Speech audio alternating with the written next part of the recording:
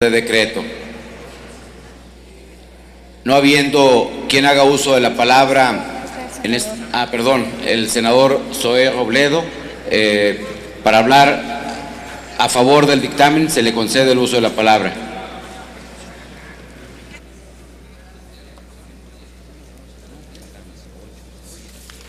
Con su venia, senador presidente, a nombre propio y como integrante de la Comisión de Estudios Legislativos Primera, eh, vengo a hablar a favor del presente dictamen, ya que esta reforma eh, tiene por objeto definir eh, lo que será considerado un residuo electrónico. Pareciera un tema intrascendente, pareciera un tema que no tuviera un impacto eh, en, materia ambiental, pero sí lo tiene.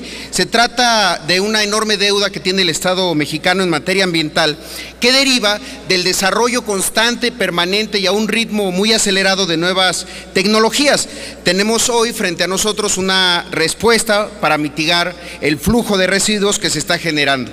El avance tecnológico, como se mencionaba, eh, ha generado cada vez más desechos electrónicos porque la información virtual a final de cuentas permanece, pero los instrumentos donde se consulta pues tiende a cambiarse. ¿Cuántos de ustedes no han cambiado de celular en lo que va eh, del año? Y ese eh, aparato que se deja de utilizar se convierte inmediatamente en un residuo electrónico que puede tener graves daños al, medio, ambiente. Pensemos, por ejemplo, eh, en el número telefónico que utilizamos y que permanece, pero el aparato, el aparato no. Lo mismo sucede con computadoras, con muchísimos dis dispositivos.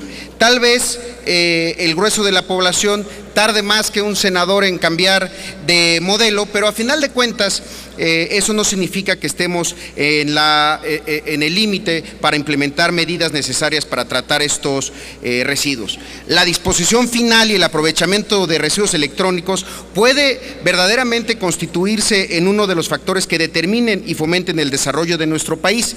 Asimismo, no podemos esperar a disponer de estos residuos electrónicos hasta que sea un problema que escape de todo control. La propuesta que estamos nosotros avalando y apoyando tiene una visión de concurrencia y de distribución de facultades y responsabilidades entre los diversos órdenes de gobierno. Atribuye a la Federación la expedición de normas oficiales mexicanas, así como el registro de planes de manejo para estos residuos y a las entidades federativas al autorizar y llevar el control de las instalaciones para el manejo integral de residuos electrónicos.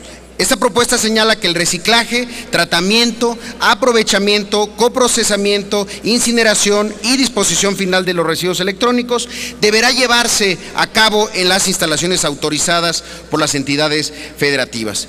Finalmente, se propone también que la importación de residuos electrónicos para fines de aprovechamiento, valorización o coprocesamiento en territorio nacional se realice de conformidad con lo señalado en los tratados internacionales y en lo que señala la propia ley.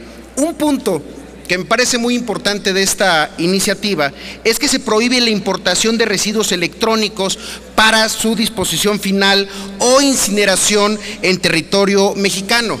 Esta medida nos va a permitir importar con la final de reciclar y neutralizar los recursos, pero evita que en, nuestro país, en suelo mexicano, se creen basureros mundiales de residuos electrónicos. Nos estamos adelantando a lo que puede ser una crisis y que quizá no se vio en materia de otro tipo de residuos y que hoy estamos con, un, con problemas en varios estados del país. Bueno, estamos previniendo de que eso ocurra con los residuos electrónicos. La iniciativa, pues, aunque no lo pareciera, es en una enorme relevancia para el cuidado del medio ambiente y por eso los convoco, señores senadores, señoras senadoras, a que acompañemos y votemos a favor del presente dictamen. Es cuanto, señor presidente.